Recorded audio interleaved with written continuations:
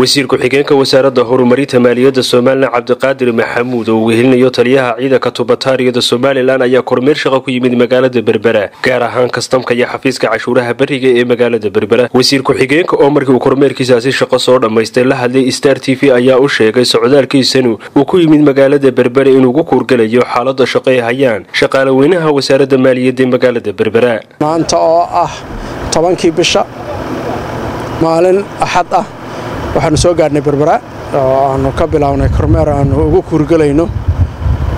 xaaladda dakhliga iyo baadhitaanno aanu ku hayno iyo kormeer joogto ah wasaaradda maaliyadda.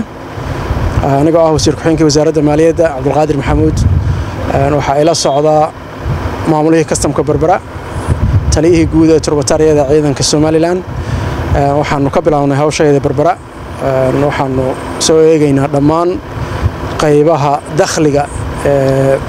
gobolka saaxil gaar ahaan berbera kastamka cashuuraha beriga waxaanana u sii gudbaynaa haddii la haydhaa gobollada bariga insha allah. Maanta halkan joognaa wax kaloomananimana waa shaqadaydii caadiga ahayd ee joogtada ahayd. Mar wasiirka aan weydiiyey su'aal ahayd waxyaabaha uga soo baxay muddadii uu kormeerka samaynayey kormeerkiisani ayaa waxa uu kaga jawaabay wasiir ku-xigeenka wasaaradda horumarinta somalilan cabdiqaadir maxamuud inay ka soo baxeen kormeerkiisani inuu arkay shaqo fiican ay hayaan. Shaqaale weynaha wasaaradda maaliyadda ee gobolka saaxil gaar ahaan kastamka iyo cashuuraha beriga ee magaalada berbera. Wallahi wax wanaagsan baa noo soo baxay iyo xaaladda ay ku sugan tahay dadku aanu shaqaalaha iyo maamulkana dhegaysanno baahiyahoodana aanan ku turjunno oo aanu aragno xaaladda dhismaha shaqaalaha qalabka ay ku shaqeeyaan kuraastooda dhammaan waxaasoo dhanna aanu u kuurgalno ayaannu u soconnaa.